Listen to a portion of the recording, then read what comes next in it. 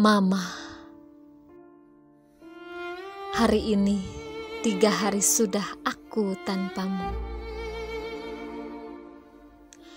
Rindu itu datang, namun aku tak bisa memelukmu lagi.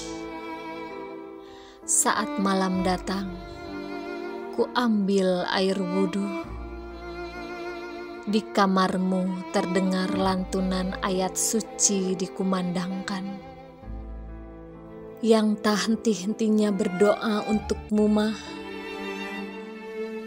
Pria paruh baya itu adalah bapakku. Temanmu yang sudah puluhan tahun bersama. Menua bersama. Beruban bersama.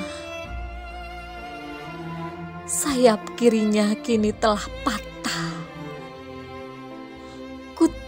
dia terluka. Dengan suara lirih namun hikmat. Kulihat dari balik pintu. Meski hanya setengah ku mengintip.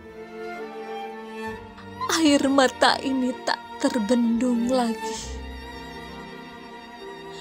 Hingga tangisku pecah Bapak sesekali tersedak sambil menahan tangis.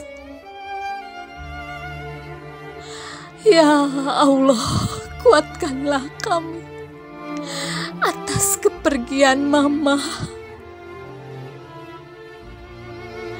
Kami ikhlas, namun kami manusia biasa yang kehilangan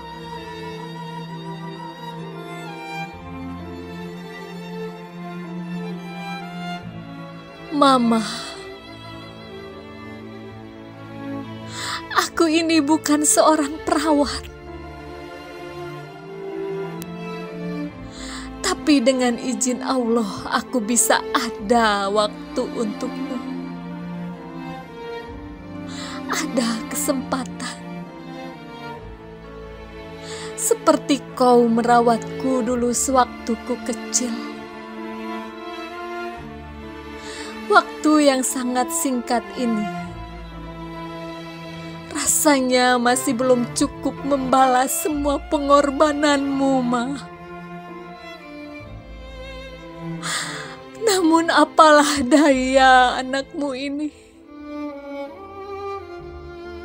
Tidak bisa menolongmu. Ketika engkau meraung-raung kesakitan ketika kau mulai menyerah, aku pun kalah. Ketika kau bilang tidak kuat, aku pun takut teramat sangat. Tiga anakmu ini yang selalu mendoakan. Mama, ku ikhlaskan engkau pergi. Kami mendampingimu saat kau melepaskan dunia ini. Semoga engkau tenang di alam sana. Dan kelak Allah kumpulkan kita kembali. Aku masih ingin menjadi anakmu, Ma. Ibu yang hebat. Kau ibu yang kuat. Wahai Allah, ampunilah, rahmatilah, bebaskanlah, lepaskanlah dan muliakanlah tempat tinggal mama.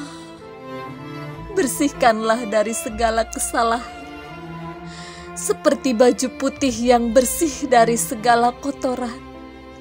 Masukkanlah ia ke dalam surgamu, ya Allah. Lindungi dari siksa kubur serta fitnahnya dan siksa api neraka. Amin, amin, ya Robbal Alamin.